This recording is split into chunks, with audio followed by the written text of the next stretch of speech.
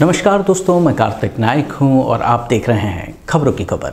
यही तो प्रतिभा को निखारता है और इसीलिए कोई ओलंपिक खाली नहीं जा रहा। खिलाड़ियों के लिए भी, हमारे अपने सरकार के संसाधनों के अलावा भी, अब जिंदल ग्रुप को जोड़ा और जिंदल ग्रुप के माध्यम से कहा कि एक एक खिलाड़ी को गोद लीजिए और इस ओलंपिक नहीं, इसका अगला वाला और अगला वाला और अगला वाला। प्रतिभाएँ तो पहले दिख जाती। है मध्य प्रदेश के मुख्यमंत्री ने पेरिस ओलंपिक्स और पैरालंपिक्स खिलाड़ियों को किया सम्मानित। 2 अक्टूबर मुख्यमंत्री डॉक्टर मोहन यादव ने बुधवार को पेरिस ओलंपिक्स और पैरालंपिक्स खिलाड़ियों को किया सम्मानित। उन्होंने तीन खिलाड़ियों को एक एक करोड़ और तीन खिलाड़ियों को दस दस लाख रुपए और एक खिलाड़ी को तीन लाख रुपए और एक को दो लाख रुपए का प्रोत्साहन राशि के चेक प्रदान किए। इस अवसर पर खेल एवं युवा कल्याण मंत्री विश्वास सारंग, विधायक भगवान दास सबनानी और अपर मुख्य सचिव स्मिता भारद्वाज एवं बड़ी संख्या में खिलाड़ी और उनके अभिभावक उपस्थित थे।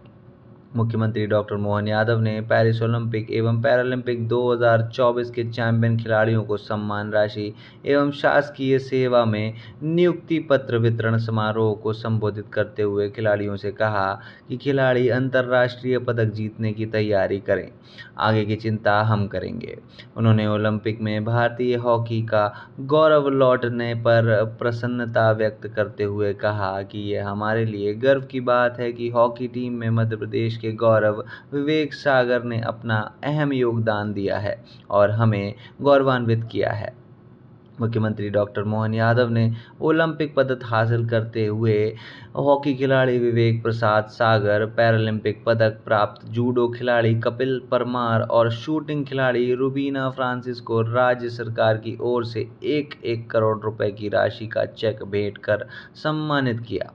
कार्यक्रम में मंत्री सारंग ने वर्ष 2017 से वर्ष 2022 तक विक्रम पुरस्कार प्राप्त उत्कृष्ट खिलाड़ियों को जल संसाधन, लोक निर्माण, नगरीय विकास, ऊर्जा चिकित्सा, शिक्षा एवं वन विभाग में नियुक्ति पत्र प्रदान किए। मंत्री सारंग ने कहा कि मैदान में उतरने वाला खिलाड़ी किस स्तर का खिलाड़ी बनेगा, यह नहीं कहा जा सकता।